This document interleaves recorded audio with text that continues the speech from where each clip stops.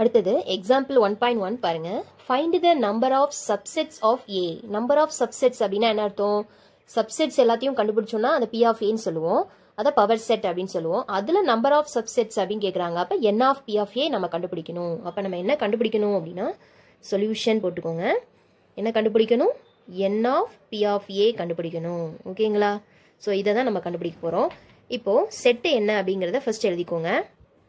X such that x equal to 4n plus 1 2 less than or equal to n less than or equal to 5 n belongs to capital N. ஓகேங்களா இப்போ என்னோட value என்னென்ன வரும் அப்படின்னா two less than or equal to n less than or equal to five அப்படின்னு போட்டிருக்காங்க.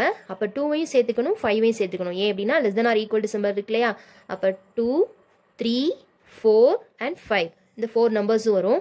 இப்போ இந்த கண்டிஷனில் அப்ளை பண்ணி ஆன்சரை கண்டுபிடிக்க போகிறோம் ஏங்கிற செட்டுக்குள்ளே என்னென்ன வரும் அப்படின்னு பாருங்கள் four four n plus one நீங்கள் டூ அப்ளை பண்ணிக்கோங்க. ஃபோர் டூ ஜார் எயிட் நான் வேணால் கண்டுபிடிச்சி காமிக்கிறேன். ஃபோர் என் ப்ளஸ் ஒன்னில் எண்ணுக்கு வந்து என்ன போட போகிறீங்க டூ டூ போட்டிங்கன்னா என்ன ஆன்சர் வரும்? Four into two plus one answer nine ஓகேங்களா? எண்ணுக்கு த்ரீ போட்டிங்கன்னா four into three plus one four three sir twelve twelve plus one thirteen next n equal to four அப்படின்னு போட்டிங்கன்னா four into four plus one answer வரும் four four sir sixteen sixteen plus one seventeen ஓகேவா next n equal to five அப்படின்னா four into five plus one என்ன answer five four sir twenty twenty plus one twenty one இதான் answer அப்போ செட்டுக்குள்ளே என்னென்ன வரும்? Nine thirteen seventeen twenty one இப்போ நம்ம பி ஆஃப் ஏ கண்டுபிடிக்கணும்னு அவசியம் இல்லை. ஆனால் டைரெக்டாக என்ன செஞ்சலாம் n of P of A கண்டுபிடிச்சிடலாம். என் ஆஃப் பி ஆஃப் ஏக்கு ஃபார்முலா தெரியும் இல்லையா உங்களுக்கு? என்ன என்ன formula two power n of A இப்போ என் ஆஃப் ஏ என்னன்னு கண்டுபிடிச்சிக்குவோம். என் ஆஃப் ஏ என்ன?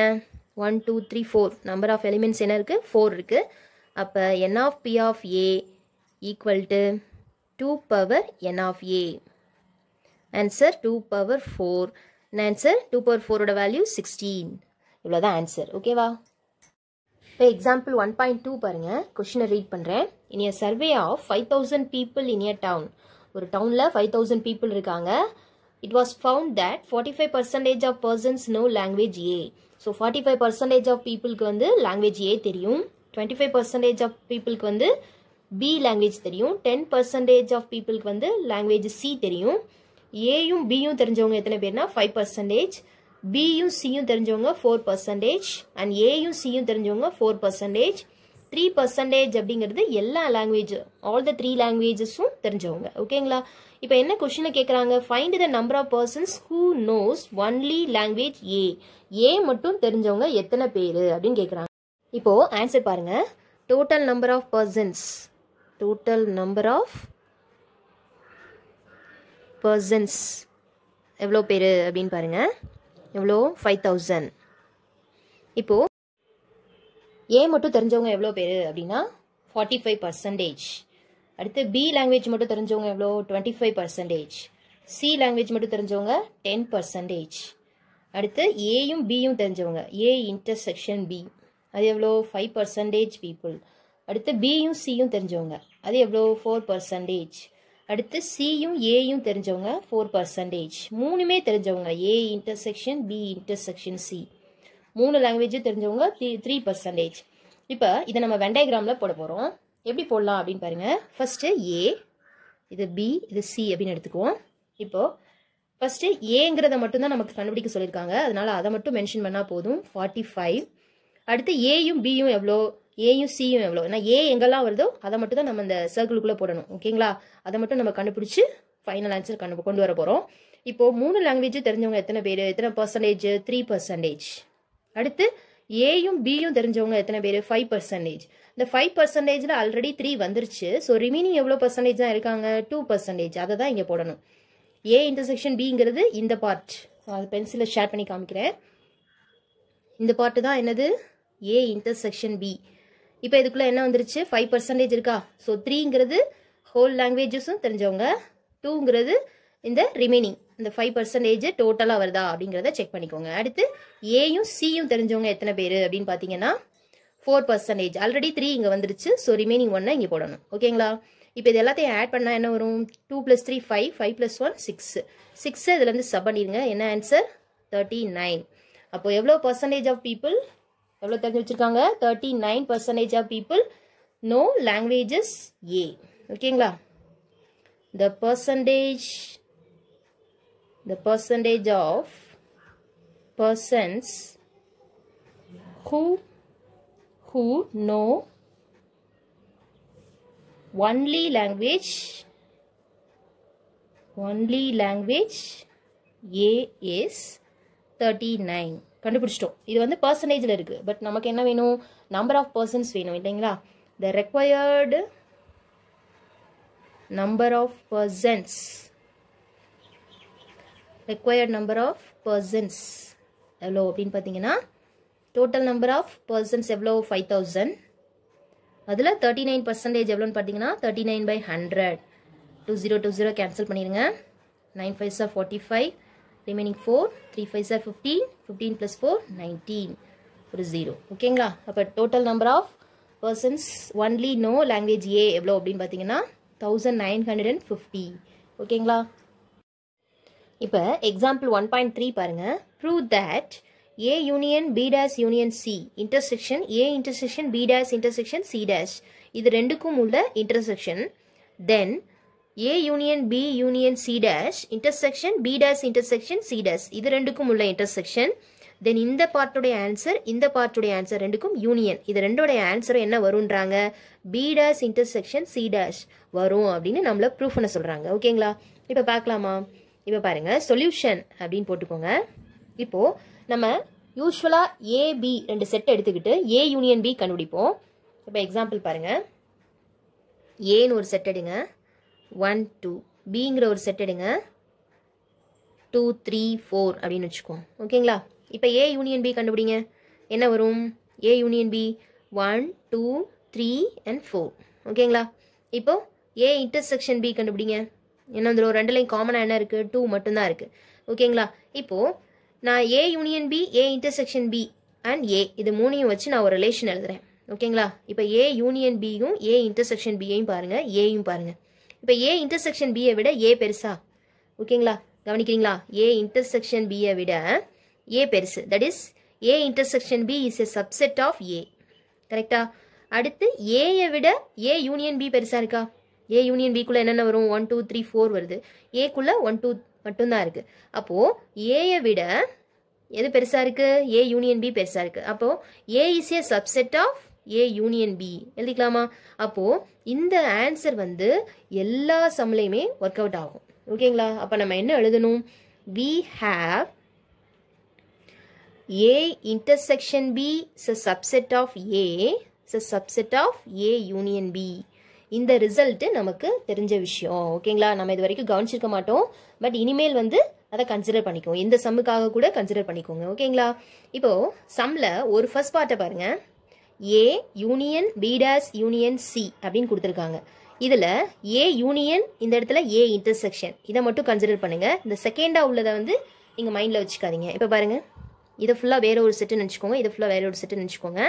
இங்கே ஏ இன்டர்செக்ஷன் அப்படின்னு போட்டு ஏதோ ஒரு செட் இருக்குது இங்கே ஏ யூனியன் போட்டுட்டு ஏதோ ஒரு செட் இருக்குது நம்ம இங்கே பிங்கிற செட்டை கன்சிடரே பண்ணலை இல்லையா? அதே மாதிரி இங்கே பி டேஸ் யூனியன் சிங்கிறது ஏதோ ஒரு செட்டு இது சப்போஸ் இப்போ மறந்துடுங்க. இதே மாதிரி இங்கே பி டேஸ் இன்டர்செக்ஷன் சி டேஸ்ங்கிறதையும் இப்போதைக்கு அதை மைண்டில் வச்சுக்காதீங்க. அப்போது இங்கே ஏ யூனியன் பி மாதிரி நினச்சிக்கோங்க. ஏ யூனியன் இது ஃபுல்லாக பி நினச்சிக்கோங்க. ஏ யூனியன் பி மாதிரி இங்கே ஏ இன்டர்செக்ஷன் பி மாதிரி. அப்போ ஏ யூனியன் பிக்கும் ஏ இன்டர்செக்ஷன் பிக்கும் இன்டர்செக்ஷன் போட்டால் என்ன ஆன்சர் வரும்? ஏ இன்டர்செக்ஷன் பிங்கிறது ஸ்மாலர் செட்டு ஏ யூனியன் பிங்கிறது பெரிய செட்டு அப்போ இது ரெண்டில் எது ஸ்மாலரோ அதான் ஆன்சராக வரும். இல்லைங்களா? இன்டர்செக்ஷன் அப்படின்னாவே எப்போவுமே ரெண்டில் எது ஸ்மாலரோ அதான் ஆன்சரில் வரும். அப்போது இப்போ நம்ம இதை ரிசல்ட்டை இந்த இடத்துல ஃபுல்லாக இதை பி நினச்சிக்கோங்க. இதை ஃபுல்லாக பி நினச்சிக்கோங்க. சரிங்களா? இப்போ ஆன்சர் சொல்லுங்கள் A intersection B dash intersection C dash is a subset of A it's a subset of இதை விட இது எது பெருசு? A union B dash union C ஓகேங்களா அப்போது ஏயை விட இது ஸ்மாலர் ஏயை விட இது கிரேட்டர் இப்போ நம்ம என்ன செய்ய போகிறோம் first பார்ட்டோட answer A union B dash union C இதுக்கும் intersection A intersection B dash intersection C dash எழுதும்போது தான் அதை வந்து அப்படியே எழுதிக்குவோம். பட் கன்சிடர் பண்ணும்போது இது ஃபுல்லாக பி நினச்சிக்கோங்க. ஓகேங்களா ஏ யூனியன் இங்கே ஏ இன்டர்செக்ஷன் அதை மட்டும் மைண்டில் வச்சுக்கோங்க. இப்போ ஏ இன்டர்செக்ஷன் பிக்கும் ஏ யூனியன் பிக்கும் அப்படின்னு அது ரெண்டுக்கும் இன்டர்செக்ஷன் போட்டால் என்ன வரும்? ஸ்மாலர் செட் எது? ஏ இன்டர்செக்ஷன் பி அப்போ எது ஆன்சராக வரும்? A intersection B dash intersection C dash இது ஆன்சர் ஆகும் ஓகேங்களா இது ஃபர்ஸ்ட் பார்ட்டுடைய ஆன்சர் இது பார்ட் ஒன் அப்படின்னு வச்சுக்கோங்க. ஓகேங்களா இப்போது அடுத்தது second part second part question என்ன இருக்குது A union B union C டேஸ்க்கும் B dash intersection C dash இது ரெண்டுக்கும் உள்ள இன்டர்செக்ஷனையும் கண்டுபிடிக்க போகிறோம் ஓகேங்களா பார்க்கலாமா? ஆனால் இங்கே கொஸ்டினில் சி டேஷ் அப்படிங்கிறது தான் ரெண்டுலேயுமே காமனாக இருக்குது நம்ம இங்கே ஏ வந்து காமனாக இருக்குது அதாவது ஏ யூனியன் இருந்துச்சு இங்கே ஏ இன்டர்செக்ஷன் இருந்துச்சு. அது மாதிரி இங்கே சி இன்டர்செக்ஷன் இங்கே சி யூனியன் அப்படின்னு இருக்குது அப்போ நம்ம சி டேஸை பேஸ் பண்ணி இந்த மெத்தடை எழுத போகிறோம் ஓகேங்களா எப்படி அப்படின்னா C dash intersection B dash ஓகேங்களா subset of C dash is a subset of C dash union B union A ஓகேங்களா இப்போ நீங்கள் என்ன மைண்டில் வச்சுக்கணும் அப்படின்னா இதை ஃபுல்லாக ஒரு செட்டு நினச்சிக்கோங்க. ஓகேங்களா அது மாதிரி இதை ஃபுல்லாக ஒரு செட்டு நினச்சிக்கோங்க. இந்த செட்டை கன்சிடர் பண்ணீங்க அப்போ சி இன்டர்செக்ஷன் பி டேஷ்ங்கிறத இங்கே ஏ இன்டர்செக்ஷன் பி மாதிரி நினச்சிக்கோங்க. ஏ இன்டர்செக்ஷன் பி இங்கே ஏ யூனியன் பி இது ரெண்டில் எது பெருசு அப்படின்னு பார்த்தீங்கன்னா இது பெரிய செட்டு யூனியன் வர்றது எப்போவுமே பெருசாக இருக்கும். சீடஸ் அப்படிங்கிறது இந்த இடத்துல ஏ மாதிரி நினச்சிக்கோங்க. ஓகேங்களா? ஓகே இப்போ பார்க்கலாமா?